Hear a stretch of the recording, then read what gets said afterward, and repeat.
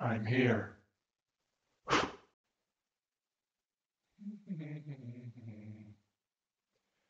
My little changeling, my little changeling. Ah. Oh, is that the time? Honestly, I was planning on starting my series with the season premiere. But this episode, I suppose, is a good place to start. Now let's see, what's this episode about? Starlight Glimmer and Trixie gets married? Oh, wait, that's my fanfic. I mean, that's a fanfic. I mean, that's. Never mind. Well, let's get on with it. Oh, All hail.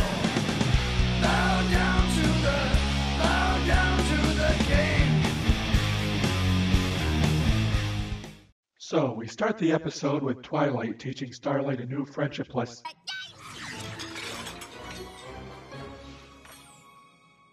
Did you? How? When? What? Well, it's good to see they haven't retconned Starlight's super magic. Yet. But yeah, now Starlight has to go out and find herself a new friend. By tomorrow night. So anyway, Starlight gets some help from the main six, so I'm sure nothing could go wrong. Ms. Starlight Glimmer, meet Mrs. Cake. Are you baking? Can I help?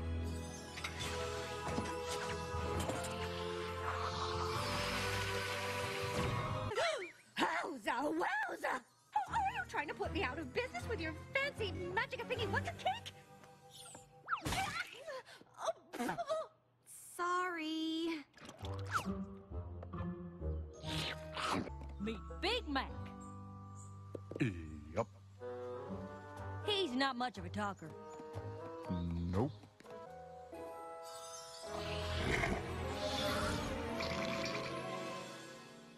Yep, yep, yep, yep, yep, yep, yep, yep, yep, yeah, yeah, yeah, you did something! Whoa, what's happening? I feel really weird. I'm talking so much, and I'm so articulate, enunciating with such precise pronunciation. Annie Apple awoke and accidentally ate an auburn azalea. Ah! Make it stop! I can't be friends with some pony who doesn't talk. The trick to finding a new friend is to render yourself radiant. First impressions count a great deal, you know. I'm glad you all got past my first impression. You really think a new outfit will help me meet ponies? oh, with the right outfit, you can do anything, darling. When will it be ready? Three weeks. Dinner's tomorrow. Spitfire! Sorry. Who's that? Only the Wonderboltiest pony in the Wonderbolts. Come on, I'll introduce you. You coming or what? I guess my first question would be, what's a Wonderbolt? You've never heard of the Wonderbolts? Where have you been? Enslaving villages, I guess. You're adorable, but probably not what Twilight had in mind.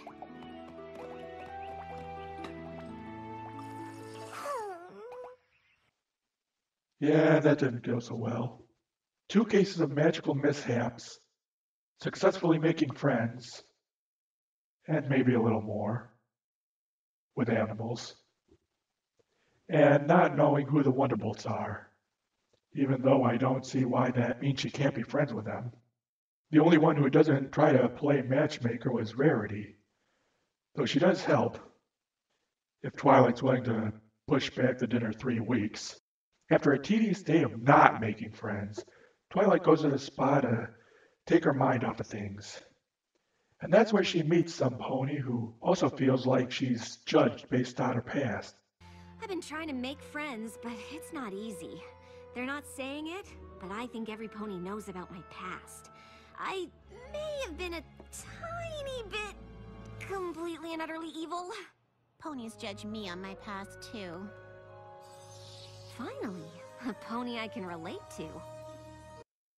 She then goes running to Twilight to tell her the good news. Twilight, guess what? I made a new friend! That's fantastic news! She's great! Great! She's powerful! Powerful? She's... Hello. princess. Trixie?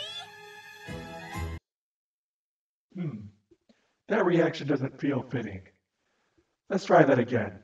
Did you? How? When? What? That's better. You know each other? You could say that. We've had our differences. Meeting number one. You act like a bully, and Twilight had to save your sorry flank. Meeting number two. You trapped Ponyville in a giant fishbowl, and Twilight had to save Ponyville's flank. For the umpteenth time. Yeah, not the best track record. Well, if she can't be a performer, perhaps she could try her hoof at modern art. There are plenty of reviewers who have seen this episode and thought Trixie was just her usual one trick pony self. But this is where you see that her personality was written geniusly. I'll make another Trixie video to go more in depth on her characterization, though, since I need extra time to focus on Trixie's personality anyway. Anyways, while Trixie and Starlight are on their way to Trixie's wagon and talking about taking over the world, good at organizing stuff. Magic props, brainwashed crowds. Twilight Stalker arrives and asks how her friendship with Trixie is going. But it seems Twilight doesn't trust Trixie. Starlight points out that they have so much in common, and that's what Twilight's afraid of. So instead, she introduces Starlight to her friend. I could introduce you to my friend here. Nice to meet you. No, no, you can come out now. You like music, right? DJ Pon-3'd be the perfect friend for tonight's incredibly important dinner with Celestia. You know, if you decide to make a last minute change. FYI, this is the first ever mention of the name DJ Pon-3 in the show. And FYI, the name Vinyl Scratch is purely fanon. I'm not saying it's not a good name. I mean, Lulamoon is a good last name for Trixie, even though that's a fanon name. Or like the character Nazo is fanon in the Sonic franchise. Oh hey look, there's Derpy and Please, Twilight. Did she just bite her tongue? Ouch! Why aren't any of the other analysts concerned about Derpy biting her tongue? Don't you know how much that hurts? So as Starlight was trying to uplift Trixie's spirits, she mentions how she's better at magic. Only when I'm wearing a soul-sucking evil amulet, so I don't think that counts. Funny story. Don't need to get into it. But then she mentions a trick that she hasn't been able to do. The Moonshot Manticore mouth dive. The Moonshot Manticore Mouth Dive. So would that be the mm dive? Oh wait, is already trademarked by Pinky. Eh, tomato tomato. But when Trixie talks about how she didn't know how Houdini performed the trick, Starlight mentions it could be done if you used real magic. Obviously. Way to rub it in. After Starlight explains how she could teleport Trixie into the box, she offers to be Trixie's magic show pony, magic helper, magic show pony helper. Magic show helper pony. Yeah, that's it. Anyway, after mentioning when the magic show was, Starlight mentions a dinner on the same night and needs to vent. Even after Twilight says she trusts me, she clearly doesn't trust me enough to choose my own friends. I guess you were right. No second chances. Of course, Trixie wasn't surprised, but then talks about not knowing how she was going to do the trick without her new assistant. And this is another part that the surface isn't where you need to look. But again, I'll be making a separate Trixie video. And now we. Hold on. Is that an ice sculpture of a changeling? I swear that looks just like my Aunt Fred. Anyway, Celestia is not amused. Yes, it's dinner time, and Starlight still isn't there. Twilight, however, has invited Twilight's friends of Starlight. Starlight Glimmer? I thought you said nose hair trimmers. What's going on? I'm hungry, and my nose is too hairy. This probably would have been more preferable if Twilight didn't make Starlight make friends and just have the three of them eating dinner, or have the fourth place for Spike. How hard could that have been? Chin. Maybe she got lost amongst the, uh, artichokes. I wouldn't be surprised if that wasn't an excuse, and that has actually happened before. It wouldn't be the first time she's gotten lost in that castle. After finding the stage, Twilight finds Starlight and Trixie talking. Trixie. No. Ah, I'm so glad we're not at that boring dinner. Obvious she's behind me, isn't she? Joke is obvious. Are you aware that at this very moment, Princess Celestia is waiting for you at a table with exquisite silverware placement? Seriously? You're angry because silverware placement? She didn't tell you she wasn't coming. Okay. She left Princess Sunbutt waiting. Okay. But silverware placement? Of course, the argument escalates with Trixie stepping in. Until she catches foot and mouth disease. Your pupil chose me, so I win. You win? That sounds like you just made friends with me to beat Twilight. Exactly. Wait! I mean, no! I got caught up in the moment. I like you. Beating Twilight is just a bonus. oh, saying that didn't help, did it? Feeling betrayed, Twilight ran away. Everybody evacuate Ponyville before Starlight comes and removes your cutie marks and enslaves Ponyville. Trixie regrets what she said. However, she's in denial. But I'll go more into that. Looks like the great and powerful Trixie is back to a solo show. Trixie? Which is exactly the way she likes it. Thank you, Princess Twilight, for getting rid of that annoying pony who wanted to be my first friend. I am not sad at all. I definitely don't feel like my heart is breaking into a million pieces. Ouch. Again. But after being blatantly obvious that Trixie was upset,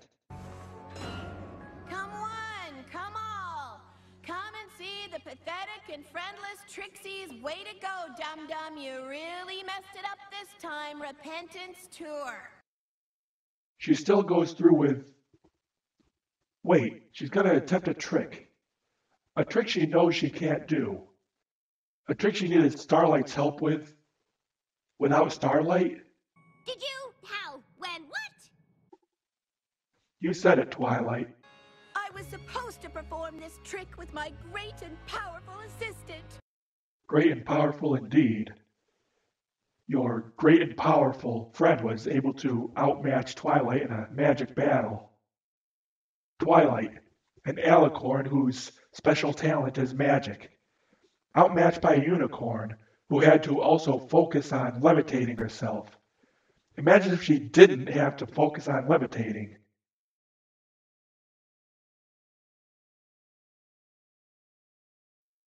However, Twilight talks with Starlight and admits that she's wrong and that they should be friends.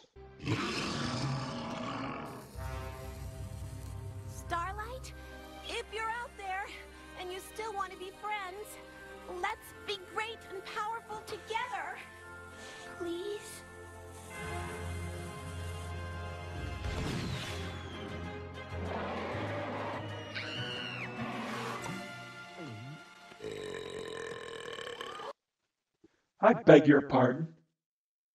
See what you did to Fluttershy?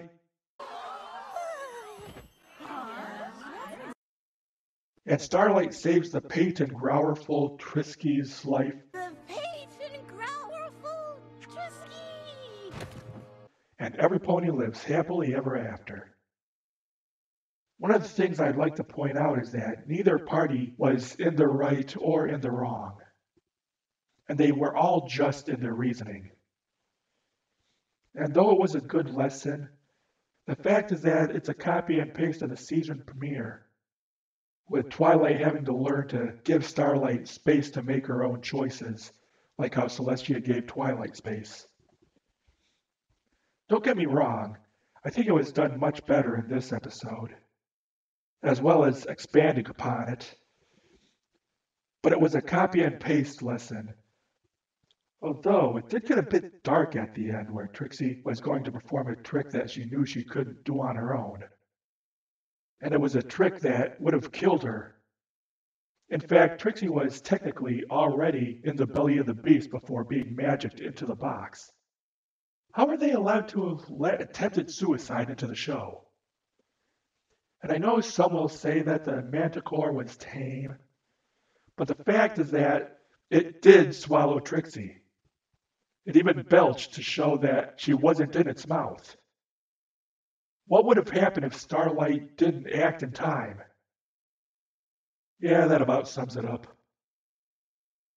Well, stay tuned for my Trixie analysis video. And if you like this video, then please join my hive and subscribe. Your king demands it.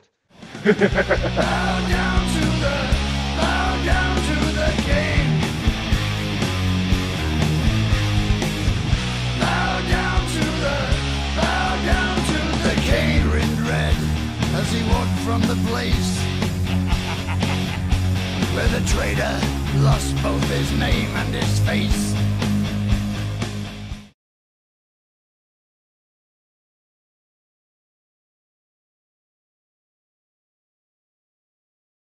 I'm getting this strange feeling that I'm forgetting something. Oh, well, I'm sure it's nothing.